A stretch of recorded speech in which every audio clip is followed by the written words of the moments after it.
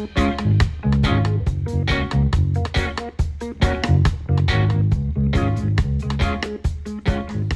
folks, welcome to Belly's Kitchen and today we are doing a, a, little quick, it's another quick and easy um, recipe guys. And I have here some chicken breast that I have washed and cleaned, yeah. And I'm just gonna do a quick slice. I'm gonna try to cut these on the bias and then I'm gonna try to uh, add some ingredients to them to marinate it I want to do something unusual with this chicken breast guys so um, you have to bear with me this is not a known recipe so to speak it is something that St. Hope uh, Yardie Belly is just doing as we go along so work with me guys all right now chicken breast is one of those meats that if you don't do it properly it dries out on you. So you're gonna want to pay attention to this procedure if you plan to redo this uh, dish any at all right so see I have them, them cut like that. All right so I'm gonna add this back to my bowl. I have one more and I'm gonna do the same thing to to that one. All right so we have a chicken right there. Mm -hmm. let me wash my hands.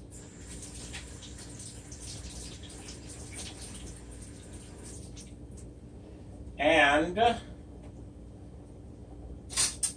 I'll be just using herbs you know herbs and fresh ingredients for this one and it's not gonna be a lot of stuff I'm gonna start with my green seasoning trusty green seasoning that I made from scratch. It's in a it's in a sofrito bottle, but um, it's still made from scratch.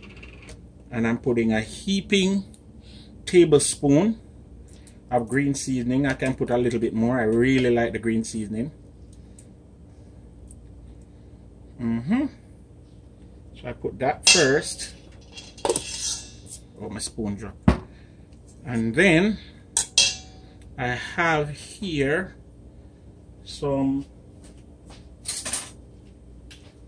some jerk yeah my trusty honey jerk dip from Caribbean Savories and I'm again I'm not being paid for endorsing any companies I'm just using the products that I do like alright? And I'm not using a lot because the wifey afraid of the pepper but I'm using a little jerk.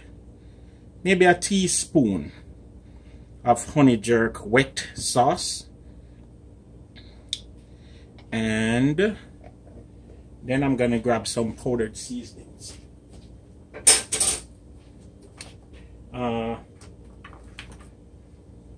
I'm using some Mexican Fiesta seasoning. It's a little bit of chipotle seasoning. You know it has chili tomato and, and a little cumin.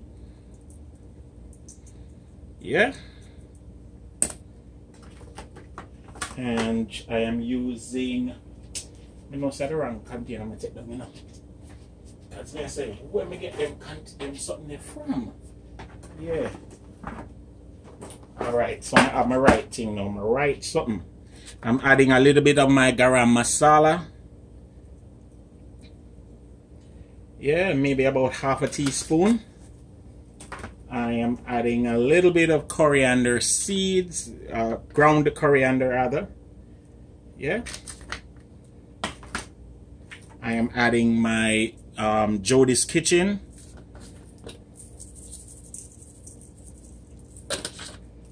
And yeah, that's about it. I'm not put nothing more in this as it is right now. Yeah. So and you just pretty much want to mix them in and incorporate your seasoning. Or oh, I have to add a little olive oil guys. In order to make your seasoning to get your seasoning to to go in and really and truly marinate into the meat it's always good to add a little oil. So I'm using um, some extra virgin olive oil here. Yeah. About a tablespoon.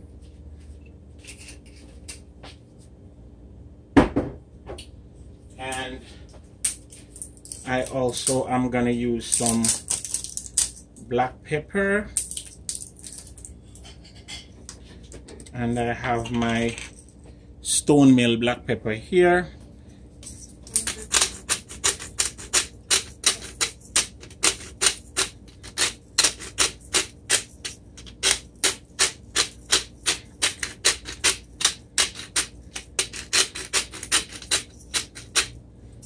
right? That's also about half of a teaspoon. And the last thing I'm gonna add is some Lee Kum Kee oyster flavor sauce yeah? And you can add about say about a tablespoon or two tablespoons depending yeah about two tablespoons uh, depending on your you know your preference. All right? And I'm gonna leave this to marinate. It smells so good. You notice I don't put any country pepper. No, I'm not put the country pepper. Because I put the jerk seasoning already. I'm not put no, no scotch bonnet. Alright. So you're just to cover this and leave it to marinate for about, say 15 minutes. Thereabouts. And then we move on to the next step in the evolution of this chicken dish. Uh-huh, this much. It's been about 15 minutes or so and I am ready to get kick my, my dish off. Let me just show you what I have here. I have some asparagus and I'm gonna just snip the ends of the asparagus, all the white section of the asparagus. I'm gonna snip that off. I have some onions and some garlic. I have some mushrooms here and I wash these mushrooms because I never like how them look. Them did sort of look dirty. I like mushrooms that have, you know, little, little stone in them and so. So I wash them with some salt and some vinegar. That's why them have this little brownish look. And over here I have some callaloo. Yeah, Jamaican callaloo. And what I'm gonna make guys is chicken packets. Yeah, I'm gonna roast them in the oven, but I just figure it's you know do something different. So my chicken is marinated has been marinated for, for, as I said, 15 minutes or so. And I am ready to start assembling my dish. Yes, I'm ready to start assembling. All right, so let me just see if I can do one. And I, guys, I promise you I never did this before. So bear with me, all right? All right, so I'm put on some onion. Yeah. Put on some onion right there. Then I'm putting a little bit of callaloo on top of the onion. Mm-hmm. See that? See that? Make a nice little bed. Yeah, yes, yeah. Then I'm gonna take some of my chicken strips and just start layering them on top of the callaloo. And guys, I'm wash my hand, my hand them clean. So you don't to worry about that. Yeah. See that? See how that look? And then the next thing I'm gonna do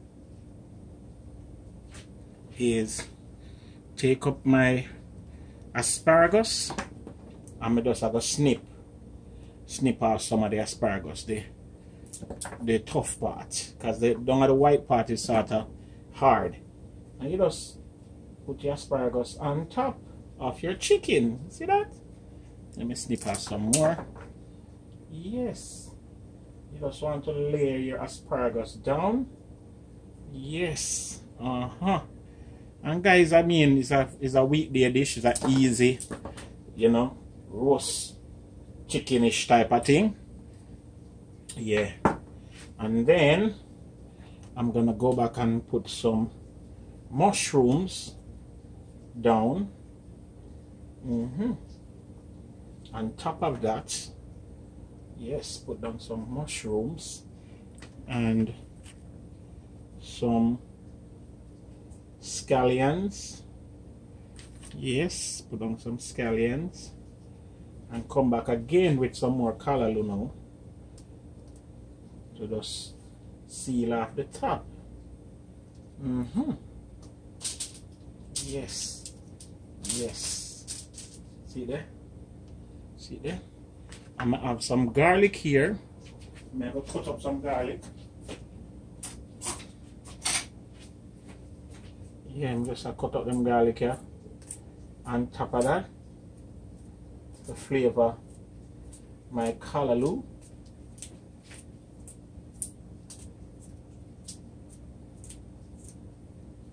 Mm -hmm. And and guess what? You can do it in a year one way. You know, if you follow me, you can use the same ingredients them and layer them however you want. To be honest with you, I am so upset because I should have had some water crackers and I never realized I'm not on water crackers. Because to put some water crackers in there too. I make it do like Jamaican steam fish type of thing. You know? Then the last thing that I'm going to do is I'm going to add the coconut oil. Yes, I'm to add some extra virgin coconut oil to this. And if you notice, coconut oil is like solid at room temperature. See here? And I got this from Aldi, guys. And once again, as I said, I'm not being paid for endorsement. So the coconut oil come like spread. So you just add it. You see? Look. You just add your coconut oil. Let me see if I can fix the camera so you guys can see what I'm doing properly. Sorry about that. Sorry about that. Yeah. I'm just put some coconut oil on the top. Normally, you'd use butter right? But we're going LT. We're going LT. So we'll use some coconut oil. Yes. Now, I have some crackers, right? But these crackers are not Jamaican water crackers. And I'm thinking that I'm going to use them. But what I'm going to do is I'm not going to put them in it because I don't like my crackers all soaky soaky. I trust the water crackers to maintain the soaking and the gravy and stuff, but not this them type of crackers. Yeah, no, no, sir. I may put a little bit more of my green seasoning. Yeah, just to just to spice it up. Yeah, put a little more of my green seasoning. Now, the green seasoning come with juice, and you need little juice. You understand to keep the chicken breast from you know drying out. Yeah? So. Yes guys me like how that look. It look very very very healthy. And then you just want to seal up your package. Yeah bring your package together like so and try to make sure that you seal it as much as possible so that the liquids inside do not escape. All right so you have a seal of your package. Yes.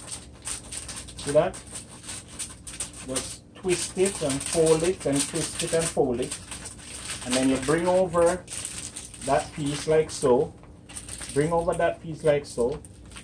And you have a sealed package like so. Mm-hmm. See?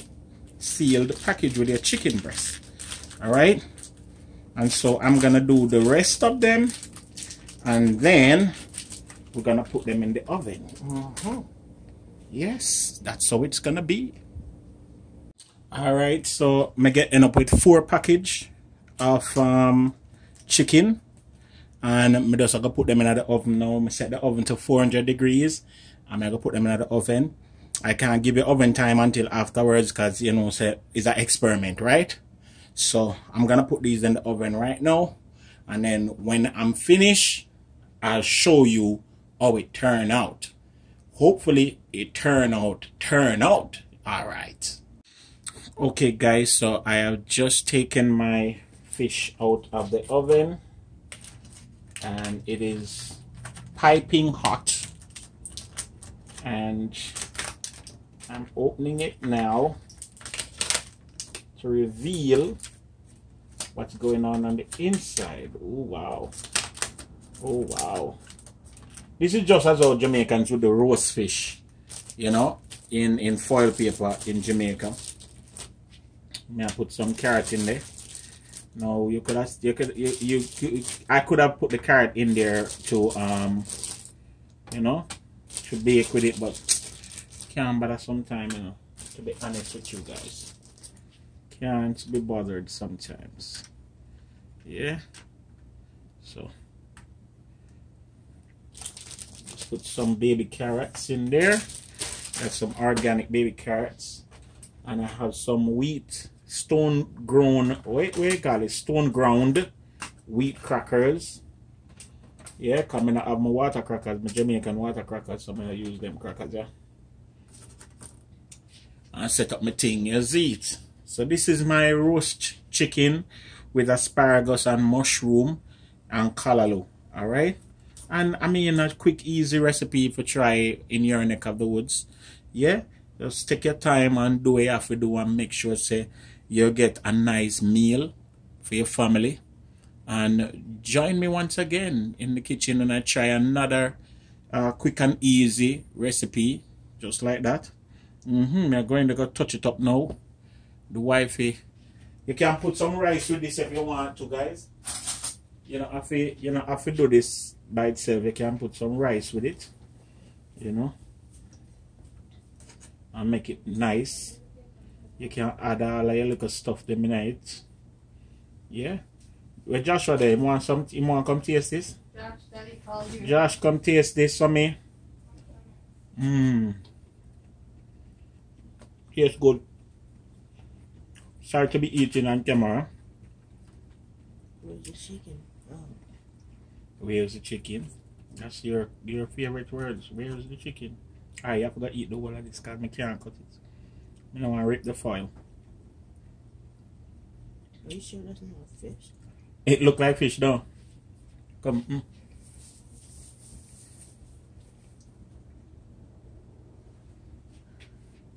Tell me it tastes.